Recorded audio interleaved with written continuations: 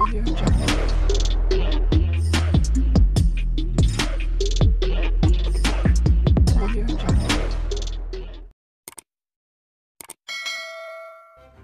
kasih kerana memilih channel ini.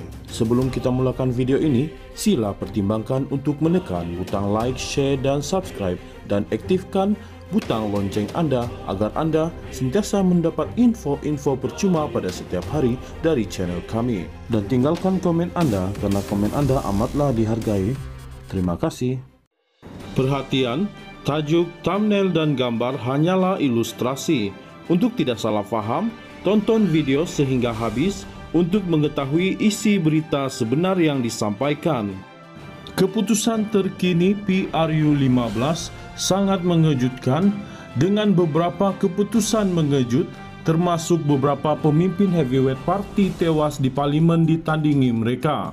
Antara yang diramalkan akan tewas pada PRU15 ialah pengurusi BN Datuk Seri Dr. Ahmad Zahid Hamidi, bekas timbalan Perdana Menteri dan Presiden AMNO itu diramalkan kalah kepada giant killer daripada Pakatan Harapan PH iaitu Datuk Seri Samsul Iskandar Muhammad Akin yang pernah menumbangkan bekas Ketua Menteri Melaka Tun Muhammad Ali Rustam di Parlimen Hang Tua Jaya pada PRU 14 lalu.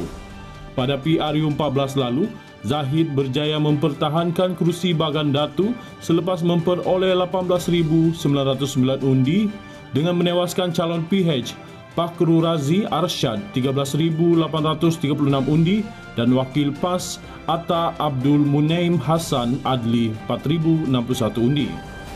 Yang turut diramal juga dua ketua parti komponen BN iaitu Presiden MIC Tan Sri S.A. Vigneswaran dan Presiden MCA Datuk Seri Dr. Wee Kasyong turut tumbang kepada lawan masing-masing di Parlimen Sungai Siput dan Air Hitam pada PRU kali ini. Presiden Pejuang Datuk Seri Mukris Mahathir pula dijangka gagal mempertahankan kerusi Parlimen Jerlun. Presiden pengganti Parti Bangsa Malaysia PBM, Datuk Zuraida Kamarudin yang juga penyandang kerusi Ampang pula turut dikatakan akan kalah kepada Rodzia Saleh dari PH dalam pertembungan sengit sembilan penjuru. Nasib juga dijangka tidak menyebelahi timbalan Presiden Parti Pribumi Bersatu Malaysia, Datuk Seri Ahmad Faizal Azumu yang diramal gagal mempertahankan kerusi Parlimen Tambun dimenanginya pada PRU14 kerana tewas kepada pengurusi PH merangkap Presiden Parti Keadilan Rakyat PKR Anwar Ibrahim. Turut diramalkan PH akan terus menambah kerusi menerusi Menteri Besar Selangor Datuk Seri Amaruddin Sari dijangka mencipta kejutan dengan menewaskan bekas mentornya merangkap pengarah pilihan raya PN Datuk Seri Muhammad Azmin Ali di Parlimen Gombak. Untuk rekod Muhammad Azmin Ali yang juga Menteri Perdagangan Antarabangsa dan Industri merangkap bekas timbalan Presiden PKR menyandang kerusi parlimen berkenaan selama tiga penggal berturut-turut sejak pilihan raya umum 2018.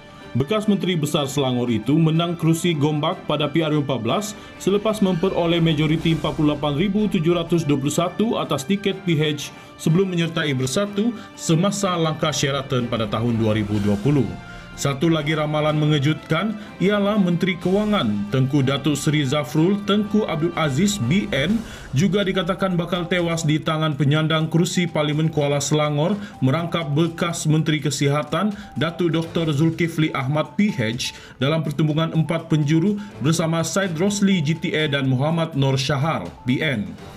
Satu lagi kerusi panas iaitu Sungai Buloh turut menyaksikan keputusan mengejut apabila menjangkakan PH gagal mempertahankan kerusi tersebut. Menteri Kesihatan Khairi Jamaluddin Abu Bakar akan menewaskan ramalan daripada Pakatan Harapan. Sementara itu, Ketua Sri Kandi Bersatu merangkap Menteri Pembangunan Wanita, Keluarga dan Masyarakat, Datuk Seri Rina Muhammad Harun, pula diramal tersungkur di tangan calon PH Raj Muni Aiman Atira dalam pertarungan sengit tujuh penjuru.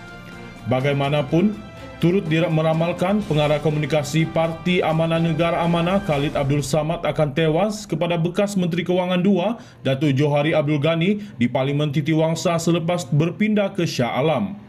Bekas Menteri Besar merangkap pengurusi BN Johor, Datuk Seri Hasni Muhammad pula dikatakan bakal tewas di tangan bekas Menteri Pendidikan Dr. Mazli Malik daripada PH di Parlimen Simpang Renggam pada PRU 15 ini. Turut menerima nasib yang sama ialah Timbalan Menteri Pertahanan Datuk Seri Iqmal Hisham Abdul Aziz yang diramalkan gagal mempertahankan kerusi Parlimen Tanah Merah selepas mengkhianati AMNO dan melompat parti menyertai Bersatu. Timbalan Menteri Perdagangan Dalam Negeri dan Hal Ehwal Pengguna, Datuk Rosul Wahid, PN, yang menyandang kerusi Parlimen Hulu Terengganu pula tewas kepada calon BN merangkap Ahli Dewan Undangan Negeri Telemong, Datuk Rozi Mamat. Seorang lagi calon sensasi PN Datuk Seri Syahidan Kasim diramalkan akan menang di Arau. Dalam dapatan bagi 165 kerusi parlimen di Semenanjung, PH ber- mendahului di depan dengan menang 94 kerusi, diikuti BN 46 kerusi, PN 24 kerusi dan GTA 1 kerusi.